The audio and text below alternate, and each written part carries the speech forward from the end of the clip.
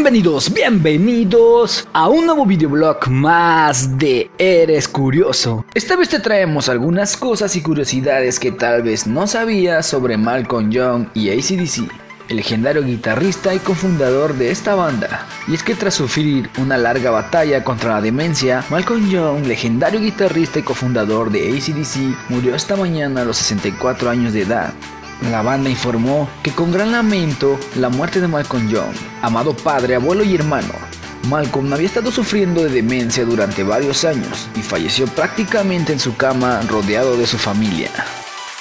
Y es que la historia del rock difícilmente hubiese sido la misma sin ACDC, y aunque la parte más presente de la banda siempre ha sido su hermano menor Angus, no escatimamos cuando confirmamos que Malcolm Young era parte de la fuerza de atrás de los grandes éxitos de la banda australiana, gracias a sus poderosos riffs.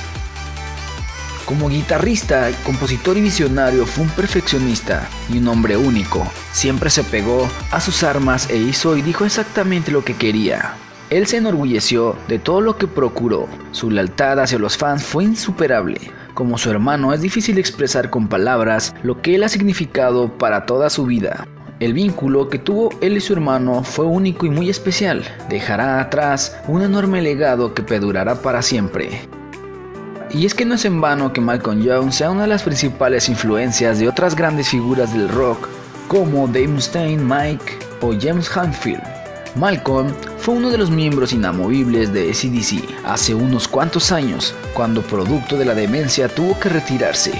Algunas de las cosas y curiosidades que debes de saber de Malcolm Young son las siguientes. Nació el 6 de enero de 1953 en Glasgow, Escocia, aunque siendo niño se mudó a Sydney.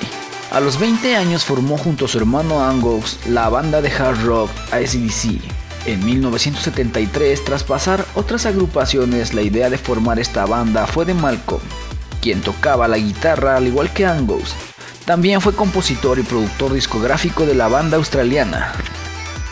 Malcolm componía la mayoría de las letras de la banda y será recordado por los riffs de las guitarras. El quinteto quedó listo con la llegada del baterista Phil Root, el bajista Mark Evans y el cantante Bon Scott. En 1975, ACDC presentó High Voltage y TNT en 1976 con la disquera australiana Albert Records llegaron a Reino Unido en 1976 durante el auge del punk, ya con dos grabaciones en el estudio. Angus solía llevarse el show sobre el escenario. Malcolm era reconocido por ser creador de los riffs característicos de la banda. Y es que la banda no ha sido la única pérdida que ha tenido tan dolorosa como la de Malcolm Young. En 1979, a comienzos de 1980, el vocalista Bon Scott muere intoxicado por el alcohol. Fue entonces cuando se les unió Brian Johnson y ya con él como vocalista y de la mano de Atlantic Records lanzaron Back in Black, que se convirtió en su séptimo disco. En 1988, tras reconocer que tenía una adicción al alcohol, Malcolm se retiró momentáneamente de la banda, siendo reemplazado por su sobrino Steve. En abril de 2014 fue cuando comenzó todo. Se anunció un nuevo receso de Malcolm en la banda, debido a problemas de salud, aunque no fue sino meses después que la familia hizo público que padecía demencia, y la banda confirmó su salida definitiva, ya que Malcolm tenía problemas para recordar canciones.